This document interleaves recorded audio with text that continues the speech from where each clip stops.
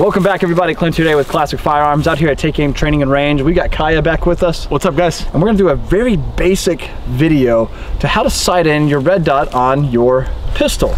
It's gonna be something really basic, really simple, like, hey, we're gonna take a couple of shots, kind of like you load up anything else, and then you start taking your shots and you kind of see where you're hitting, and then you make your adjustments. However, red dots or green dots in this case, like with the Swamp Fox Kraken on this Glock 19, can some 45 can sometimes be a little I don't know, I guess you say questionable to some people. And a uh, big shout out to Infinity Targets for providing the target today. It is a uh, self-healing reactive target, so it should be really easy to pick up these shots.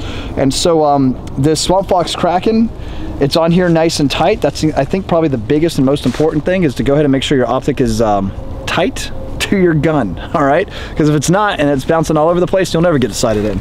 So for me, quite simply, yeah you pick a spot on the target, go ahead and take about you know, anywhere between three to five shots, whatever you're comfortable with, see your shot placement, and from there you make your adjustments. But what you wanna make sure you're doing is you're having that same point of aim, uh, sorry, same point of aim. You wanna make sure that you're aiming at that exact same point every single time you pull the trigger. So even if you're missing way to the left, that's okay. If you have a nice tight group, that's cool. You can work with that and make that adjustment. So that's exactly what I'm gonna try here today. We are at 10 yards from the target, and I'm just gonna aim center mass. Yep.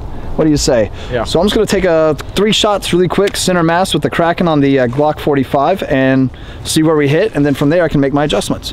Kai, you good with that? Yeah, absolutely. That's exactly what I'm saying. Yep. Cool, let's do it. Let's just take a couple shots here. Again, center mass. That's pretty good. Honestly, I don't even know if I'd change it. yeah, no, that is actually spot on. Yeah, so let's actually take a look really quick so you can see where we're hitting. And obviously it's uh, me at this point. What I tried to do is kind of hold it right in here. So what I could honestly do is probably bring it down just a bit. So let's do that and then come back after maybe just a couple of clicks, shoot another three, see where we're at. All right, so I've adjusted it on the Kraken here. You've got a very easy display. You rotate it left to up your shot placement and then rotate it a little to the right to bring it down. So I just rotated a little right. So let's just see where we're at now. Again, aiming center mass. All right, take a look. So I did pull, like, I think I pulled that first one a little bit there. You can see I dropped quite a bit, but my final two, I'm pretty happy with.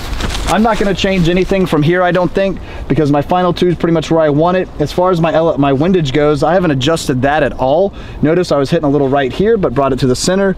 Was center on my first shot, a little low, and then these two I'm pretty happy with. Honestly, I'm not doing competitive shooting with this guy. This is more of a defensive type pistol, and within 10 yards, Kaya, I mean, you've got that FBI, uh, you know, um, experience and everything else. Most engagements, are they happening outside of this distance anyway? No, uh, based on statistics, are, uh, most gunfights in law enforcement are between three to five yards. Three to five. So even this is still too far. Yeah. So yeah, you, so. you do have gunfights seven yards, 10, 15, 25 plus, but on average, they take place very close, yeah. very close to your assailant. Right, and that's typically as they're right up on you, right? You not yep. you might want to strike and yep. then you know start shooting. Which, by the way, with these you know infinity targets, that's actually very safe. I mean, if I need to like you know muzzle strike, whatever, I can do that. It's easy day with this type of stuff, yeah. which is really cool. Uh, don't get me wrong, I love steel targets, but if I were to try to do that with a steel target, that'd come back and yeah. not be a good Not day. safe, not right. safe. But anyway, let's get you uh, sighted in on yours now. Which one do you have? Of course. Yeah, I've got the uh, Leupold Delta Point Pro um, open emitter the red dot over here and I've got a Glock 34 in my hand.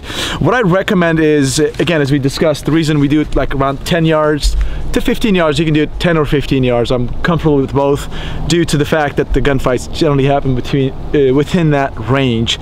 And when you put your uh, red dot on, I want you to go ahead and draw and look at that dot first because it may be all the way to the right. There's no oh, point right. for you to shoot it. Just yeah. try to adjust it. Now what I have is like I literally was just looking at it and my dot is all the way to the right. So yeah, and you're absolutely right because you can visually inspect your optic, you can see where the reticle is, even though you don't have co-witnessing sights, yep. you'll be able to at least line up, be like, okay, wow, that I can tell is all the way over to the right, I'm gonna miss every single shot, right? Yep, exactly. And so you probably show the audience yeah. that as well, exactly so, what I'm talking about there.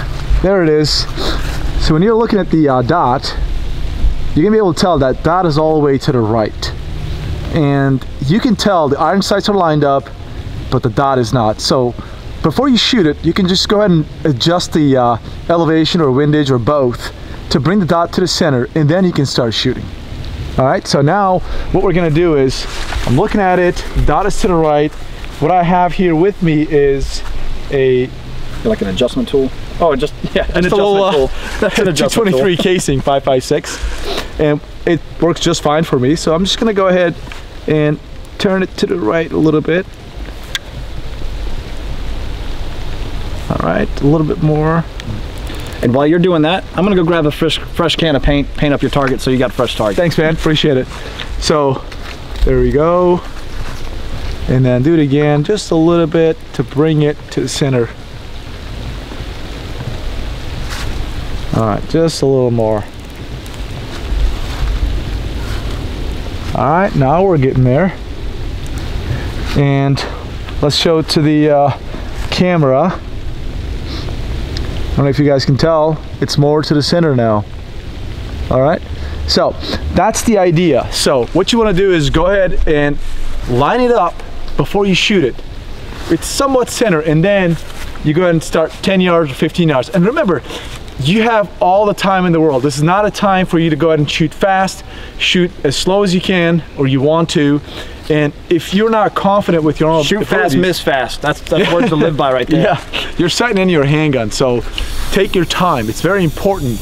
And if you need to bench it, if you got to put your hands on a bench or on a sandbag, do that if you want to be stable. But you really, really want to be stable. I'm confident with my abilities following the uh, pistol fundamentals, so I'm just going to stay in like 10 yards away and take my time and actually fire about three, uh, three rounds and see where I'm hitting. And this is about Yeah, hold on, I, I got it again. Okay. About 8.3, 9.6, nine. Right here, right where I'm at. Bam, this is exactly 10 yards. All right, perfect. Rangefinders for the win. So I'm keeping it right center at 10 yards. Okay, we are too far to the left. You see that? That's right about above your clip. clamp. So I'm not even gonna bother. So I'm just gonna go ahead and bring this out. So apparently we over adjusted it. What he's not telling you is he's just that bad. I was not heavy on the trigger. Okay. There you go. Let's try now.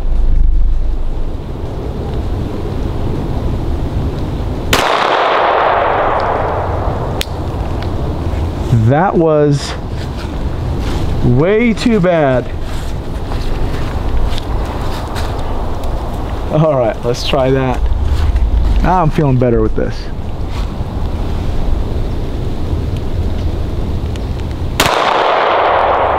All right, it's right on the line. So I'm slowly moving. Man, just crank the heck out of it. I'm doing that right, now. there. So in this case, this is a uh, one MOA adjustment and it's taken, I mean, I cranked this thing all the way. Let's see where we're at now.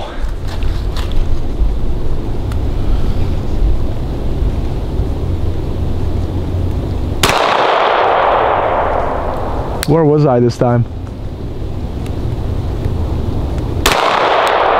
Okay, so I'm very close to the bread box. Right?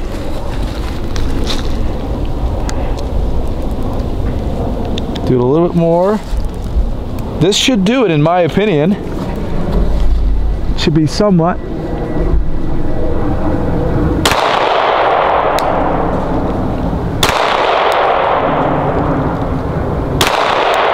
Okay, so I'm dead center, but just Just a little to the left. just a little bit, but I'm gonna do it. So the elevation seems fine. I wouldn't even mess with the elevation. Yeah. yeah. Okay, this should be good to go. Let's do it again.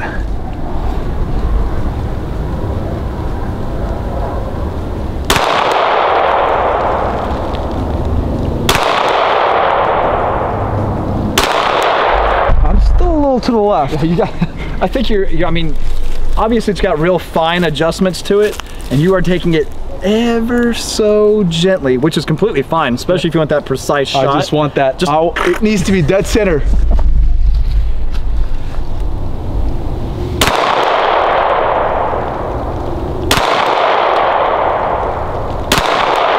I'm feeling pretty good with this. Yeah, you got a good group going. All right, so why don't we go check it out? Yeah, I'll show you what you can, see, kinda, you can see where you kind of started to walk it over. Yep. And I was gonna be pretty upset. That's the uh, only two clamps I got. I know. I mean, look at this. yep. This is my first hit. Well, I don't know. This may have been a hit at some point because look at that. It grazed Yeah. the target. That may have been my very- first one then, or maybe Maybe. after, but Yeah. one of these or both of them. Yeah. So it was, so the elevation is just fine. You guys can see this because I was aiming right here. So, but the uh, the windage was way off. Yeah. So I brought it right here. Then I brought these two right here close to the bread box. Then they came over here. Then I Your final two. this is my final one. Yeah. This was a little off, but I'm right here. So at 10 yards, this shot placement, I'm very happy. I'd consider this uh, red dot to be good to go. Yep. So at the end of it all, hey, again, big shout out to Infinity Targets for providing the target here. I really am. I'm a fan of this. We're gonna shoot the crap out of it. I think they said they can stack 110 5.56 rounds per one square inch on this before you start to actually see it start to wear out. Yeah. Which I think is pretty impressive. So check those guys Pretty out awesome. and uh, let us know what you guys think. Do you have any other hints, tips, tricks for those new shooters that might be shooting with the red dot and whatnot that you might be able to offer? Uh, let us know down in the comment section.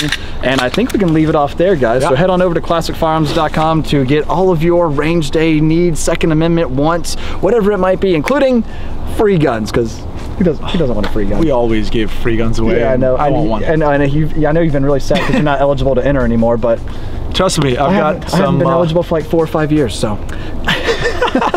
anyway, we'll leave it off there, guys. You'll see the code word down at the bottom of the screen. As always, we appreciate you and your business. God bless. We'll see you next time at classicfirearms.com.